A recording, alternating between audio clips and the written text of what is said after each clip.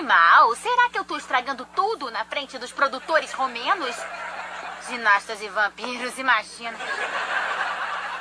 Por que, que a gente não desiste logo disso, hein? Parece que alguém aqui ficou de miolo mole depois de assistir muita televisão.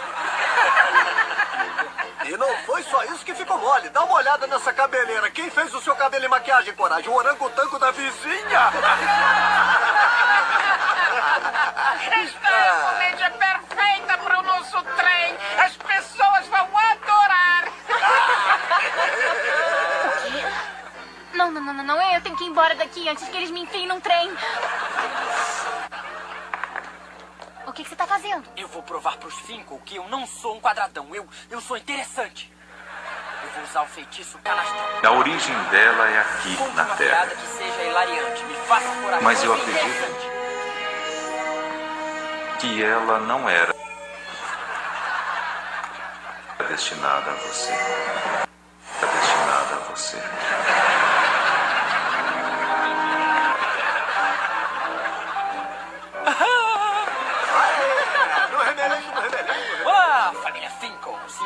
Se eu roubar a cena? Eu roubei, e roubei, e roubei, e roubei. Pessoal, vamos prestar bastante atenção nesses dois. A interpretação deles é tão ruim que até as cebolas costumam chorar quando estão assistindo. Não é verdade que eu falei? Hã? Angelzinho, o que é isso? Olha, eu estava errada sobre você. É, você tá roubando a luz. Vai destruir o nosso teste. Hum, sério? Então vamos destruir mais um pouquinho.